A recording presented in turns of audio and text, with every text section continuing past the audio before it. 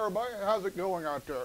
What I'm doing here this afternoon, I'm checking out the snow cam and to see if we got it set up and how everything goes. I want to get this done before dark, but it's coming down pretty good out there. Uh,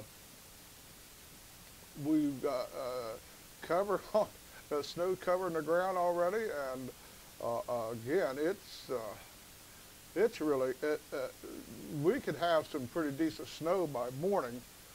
But what I share with you here. I got some things from Verizon Wireless. I got a, a box from Verizon Wireless with some cool stuff in it. So uh, let you uh, tell you about that. What I, I got a, a, cup which I can use, uh, and I'll enjoy that a lot.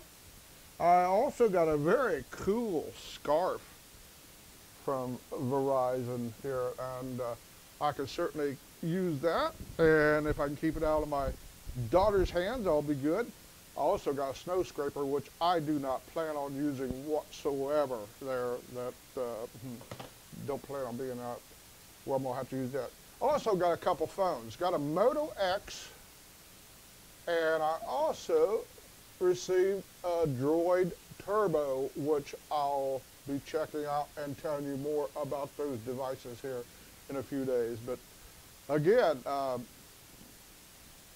Snow's coming down pretty good out there, and uh, we will have more snow cam for you in the future, I'm pretty sure. And uh, so, but again, it's coming down out there, and uh, uh this uh, could make the roads a little slick, so do be careful out there. So we'll have more of this for you soon, and more snow cam, and more on these phones, and everything else. So from Pendleton, Indiana, for the Pendleton Gazette, hoping that you have a safe time out there and be careful.